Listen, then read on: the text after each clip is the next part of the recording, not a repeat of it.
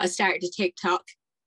And like a lot of things in my life, just by accident, it it blew up. So I um, got a message from uh, uh, Engine Casting um, from Annie and Morgan, and they they said, "Have you ever acted before?" And I was like, "No." I was like, "Well, I did actually. That's a lie. I did play Villager number four in my school play."